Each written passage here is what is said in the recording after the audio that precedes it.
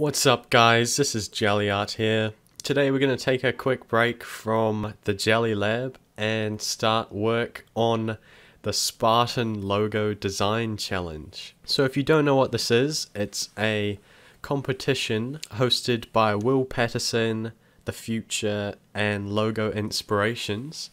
And the brief is to redesign an unofficial logo for the Spartan race, which is this cool race they have where you like jump over fire and crawl through barbed wire and stuff like that.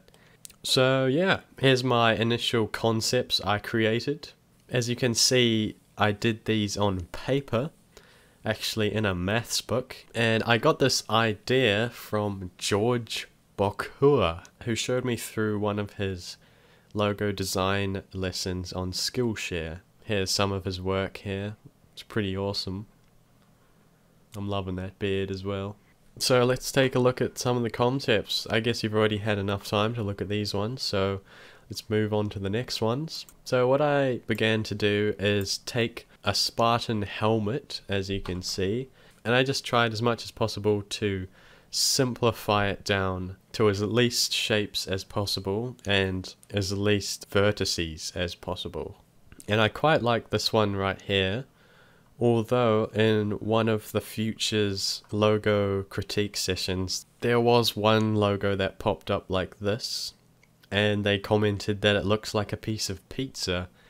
So, I'm, I don't know, I'm, I'm a little bit put off doing that one at the moment. And down here to the right, you can see I tried to incorporate the S for Spartan within like a running person, because, you know, why not? And down the bottom we can see a face, just cause. Finally, I began to get some direction with my designs. I was looking through the course that they actually run in the Spartan race and remembered that one of the obstacles included crawling through barbed wire. So I tried to take that and incorporate it into my designs. I'm really glad I drew this picture right here.